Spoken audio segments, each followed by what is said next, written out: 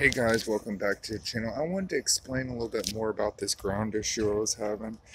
Well, it was grounded from the battery here, the battery cable, to the little bolt down there. I don't, but it wasn't a good ground and it had burnt the cables up. They were discolored in a different color. You see how it's that copper color? It wasn't that color and they were melted together and they actually looked white.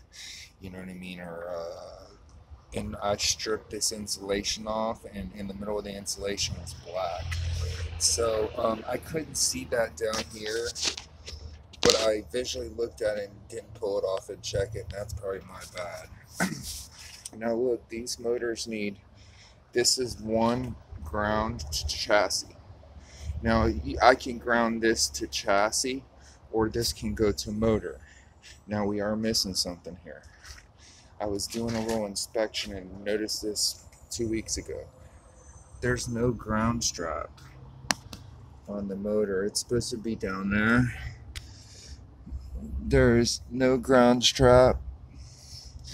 It has been pulled when they swapped the motor and they didn't put a strap from chassis to motor. Now I'm going to show you. You're going to look at the cable on this car and look to the left of the cable you see right here is the cable. Well that little that little thing right there let's see if I can snake my hand down there. That little this right here that's the ground strap that goes under the header.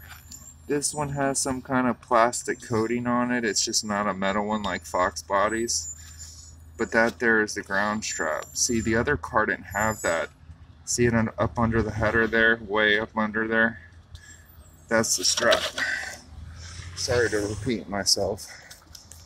So now I have to get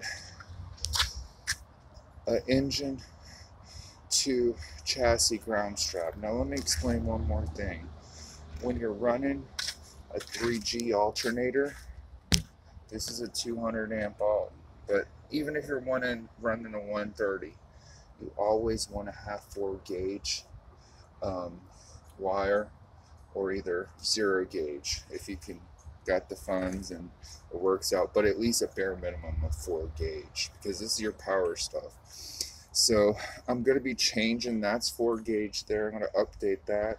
And my chassis ground is going to be four gauge and I'm going to make sure I get a really good connection and a good connection to the body when I do that.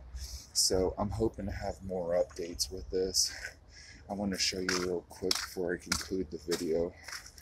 I've got the car pretty much like wow, torn apart all the way to the computer there. The dash is almost, all I gotta do is lift it and pull it out, but I wanted to try to fix this before I pull the dash, so we'll see. I'm keeping my fingers crossed, but it points out to that that's the problem. I haven't been able to test it, but we'll see later on today or when I start getting this thing pieced back together. But I don't see any breaks anywhere else. So as always, like, subscribe, and share, and keep on dreaming.